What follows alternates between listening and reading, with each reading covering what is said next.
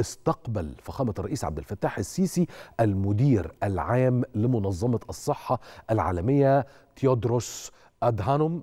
صح كده؟ النطق لو غلط سامحوني بس يعني في أسماء إحنا ما نعرفهاش. المهم الرئيس أكد حرص مصر على تطوير التعاون مع منظمة الصحة العالمية لصالح تعزيز منظومة الرعاية الصحية والخدمات الطبية في مصر وفي ضوء المبادرات الصحية المتنوعة على مستوى الدولة. في إطار 100 مليون صحة. واللي بتهدف إلى الحفاظ على صحة وسلامة المصريين في المقام الأول وفق أعلى المعايير العالمية خصوصا مبادرة إنهاء قوائم الانتظار للجراحات الحرجة ووصولا إلى تطبيق التأمين الصحي الشامل على مستوى كافة المحافظات. طبعا إن شاء الله ده يتم بنجاح وعلى خير 2030 بإذن الله يعني كلها سبع سنين وثلاث أشهر وبإذن الله يبقى في عندنا تأمين صحي شامل لعموم المواطنين وعلى كافة القطر المصري. كمان ثمن فخامة الرئيس دور منظمة الصحة العالمية والجهود اللي قام بيها السيد أدهانوم خلال جائحة كورونا خصوصا فيما يتعلق بتوفير اللقاحات. من جانبه أعرب المدير العام لمنظمة الصحة العالمية عن تشرفه بلقاء فخامة الرئيس وأشاد بالجهود الوطنية المصرية في مجال الرعاية الصحية خصوصا المبادرات الرئاسية المختلفة اللي تحت مظلة 100 مليون صحة واللي ساهمت بشكل لافت في الارتقاء بالخدمات الصحية للمواطنين المصريين.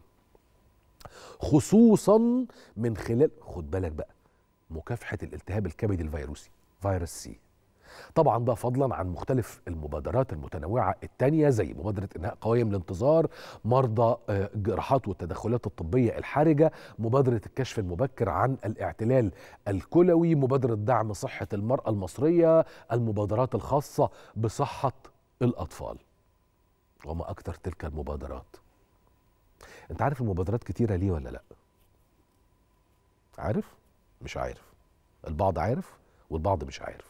طيب. آه اللي مش عارف نقدر نقول له بمنتهى البساطة علشان حالة المصريين قبل 8 سنين كانت صعبة قوي.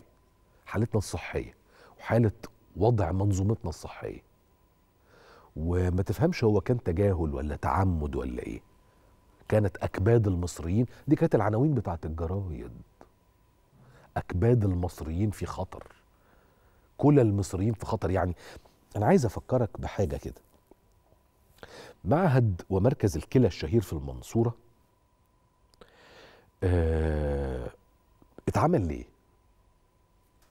يعني تفتكر لما دكتور محمد غنيم يؤسس الأستاذ الدكتور العلامة والعالم العظيم دكتور محمد غنيم يؤسس هذا المركز ليه؟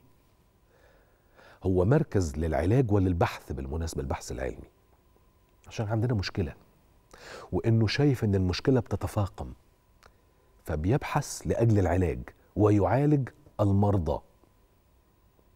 ده معناه إيه معناه ان كانت الدولة مهتمة قوي صح؟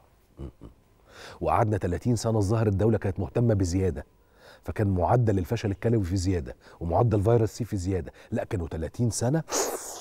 خبر! ده كانوا الجنة وما فيها. إيه ده؟ لا يا جماعة ما ينفعش. دول أحلى 30 سنة عشناهم. ده إحنا ما شفناش حاجة حلوة كده. مش ممكن. كل حاجة كانت كتير. فيروس C كتير. فشل كلوي كتير. عشوائيات كتير. فقر كتير. إيه ده؟ أمية كتير. شفت الوفرة؟ دي وفرة ال 30 سنة إياهم. سيبك. تعال نرجع للقاء. حاجة بس كده يعني على طرف المعلقة. ما عشان بس الشويتين اللي بيتعملوا كل فترة والتانية. المهم اللقاء شهد التباحث حول آفاق التعاون. آه والله.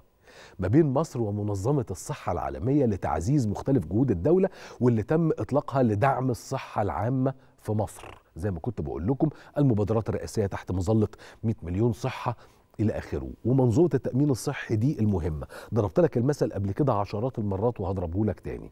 يا سادة يا أفاضل يا سيدات يا فضليات. باراك اوباما الذي ظن البعض أنه أحد الأساطير المنقذة للعالم العربي والإسلامي. والله العظيم ده إحنا غلابة قوي. من كتر الضعف اللي كنا فيه كنا قاعدين بنتشبث بأوهام.